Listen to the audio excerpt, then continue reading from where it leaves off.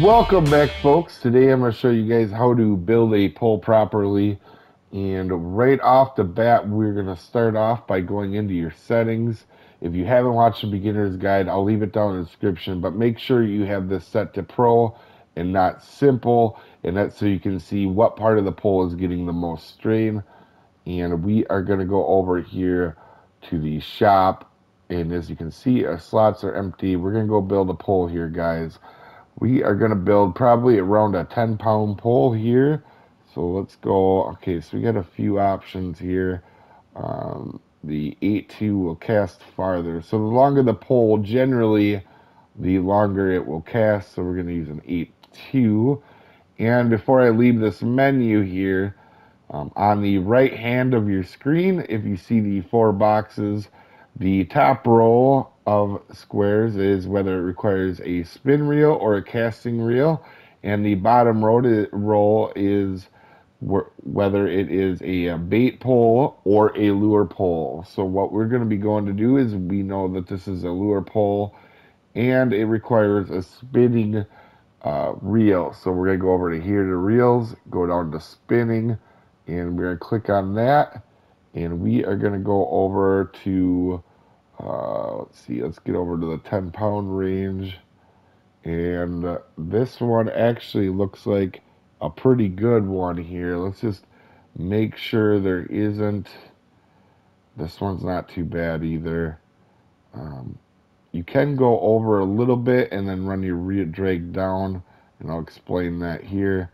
But anyway, we are going to buy this one. And if you guys don't know what a lot of these numbers mean, the max drag is when you put the power completely up on the reel, how much it can it can pull. Um, I generally make sure the recovery is good. That's uh, 31 isn't too bad, and you'll see some other poles are a lot lower. And what recovery is, guys, if you don't know, is how quick that the pole will reel in as fast as it can. So you want that to be quick so you're not wasting time between casts. So we're going to go ahead and grab this reel, and we are going to set this up here real quick. And so we need some line now, and we are going to go ahead and get 10 pound line.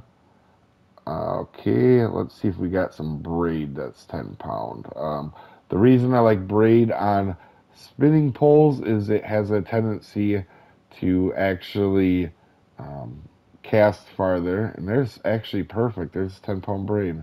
Now, sometimes you're not going to get this lucky like we're getting right now and you just have to get as close as you can.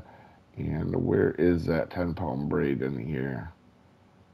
Did it go into my home storage? Actually, it might have. Let's take a quick look. There it is, yep. And we're just going to put all of it that we can on there. And I'm actually going to sell. Oh, I got to get, uh, bring some of this back in so we can actually equip it. So I generally, on these little poles, especially if I'm a little lower level, will put max amount of line on it because there's nothing that that is going to do to actually hurt you. And so now you can see we have a setup. Now, if you need a leader, in this slot here is for whether you um, are fishing basically for any fish that have teeth. So a good example of ones that you always want on is Pike and Gar, for example, in this game, they will always be able to bite your line. Um, and, and so you, if that's the case and you need that, just go down to your titanium leaders and find the appropriate one. And for this one, we would actually use 11 um, because there is, let's see, 7. Yeah, you want to have 11. Your leader needs to be a little bit more stronger than your uh, actual full setup. And as you can see here, we're basically on a 10 pound setup. Um, you can actually get these to be all the way 10 or all the way matching and it still works. And I'll show you that guys in a second.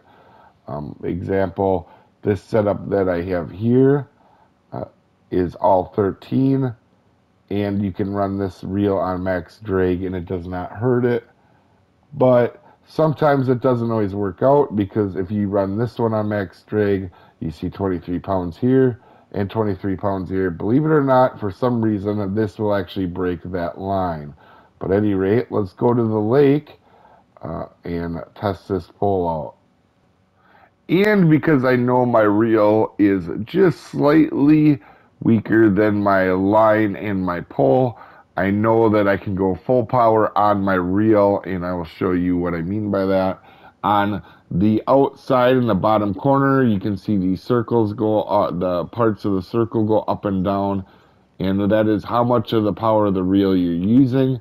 And we're just going to go to full power, and I'm going to go hook up a larger bass, guys, quick, and then show you. But Okay, as you can see, Right here, we have a pole that can get all the way to the top without breaking.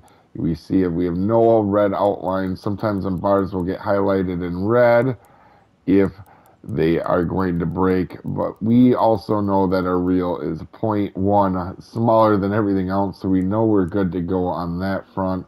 And we're getting the most out of this pole that we possibly can. If you have a setup that's down into the yellow or green or any part of it is, you might want to consider getting a new setup because that is just way too low. I normally have keep mine within the top three bars actually um, into the red there almost all my setups and I want them to be balanced so I'm getting the most XP that I can be out of that pole and getting the most use out of it as well and it looks like we have a very large guy on. The one thing I want to say too guys is um, worth mentioning too is when you're doing this, the first time you turn your drag up or you know get your drag where you want it, um, you don't uh, you don't want to have something on that you want to lose. Like I know the setup is good because of the drag is little less than the other one, so I don't I, I know I'm good and I've done this a lot before. But when you're first doing it, guys, you probably are gonna want to actually have something cheap on there, like a little worm from the shop or something just to test out something you're not worried about losing here, guys.